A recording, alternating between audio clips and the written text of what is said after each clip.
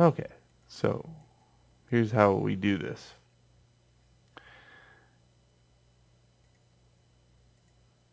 How do you show students that have maybe not a Photoshop class how to use basic operations? Well, I showed you how to 3D model, didn't I?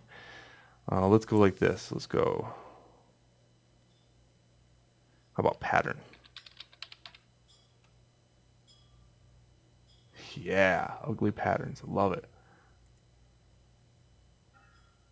All kinds of crazy.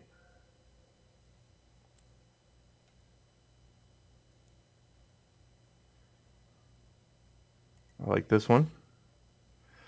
It's rather small though. Oh yeah.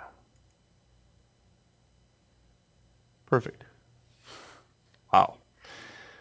Okay, I'm going to copy that and I'm going to bring it into my color template.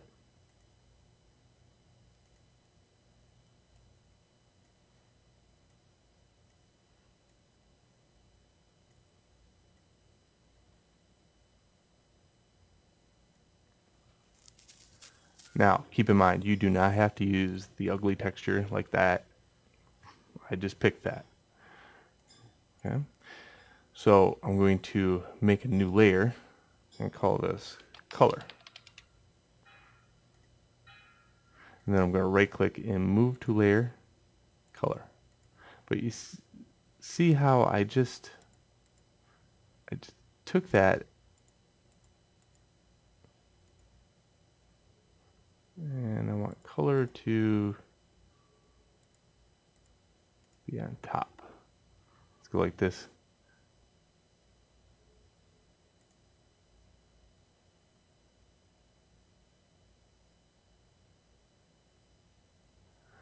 And let me think for a second. Raise to top. Maybe because this one is, oh yeah, gotcha. Okay, so this one right here, um, its opacity got stricken. See? Now it's okay.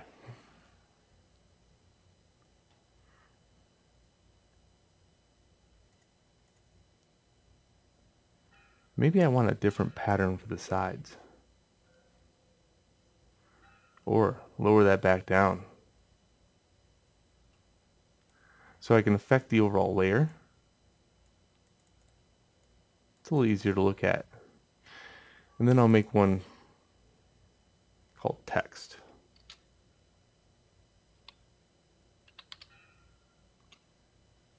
And we'll say this is the back of the card.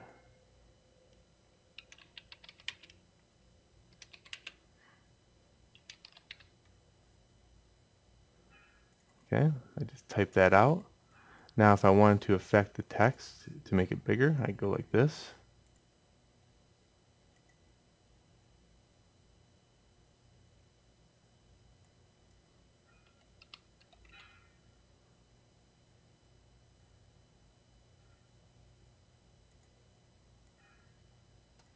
And if I want to move it around, I go like that.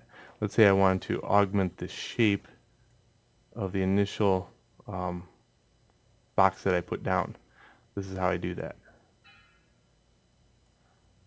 That way when I go back to the arrow, I go like this.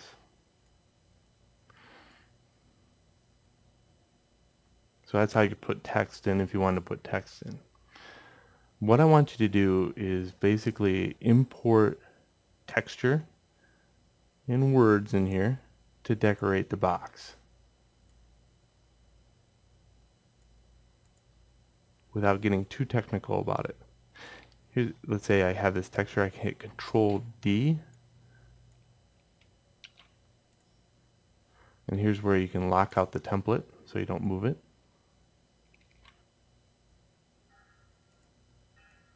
And that makes a copy of it.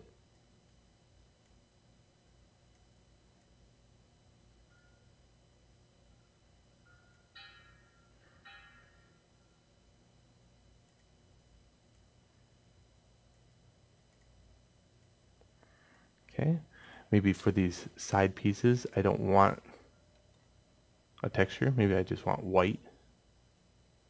in that case I can just shut this template off. Okay. In fact, I'm pretty happy with just this. I mean, I, am not going to be too picky about this. You did a lot for this unit.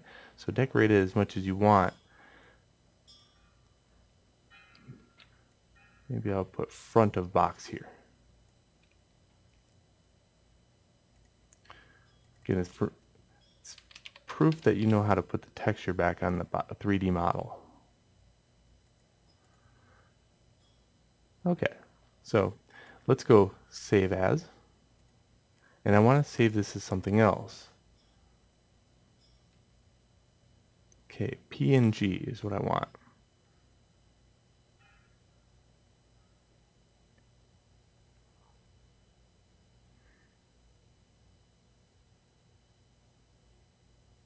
There it is. Then I want to name this color, not template. You never write over your template because the template is what you give to the artist for them to color.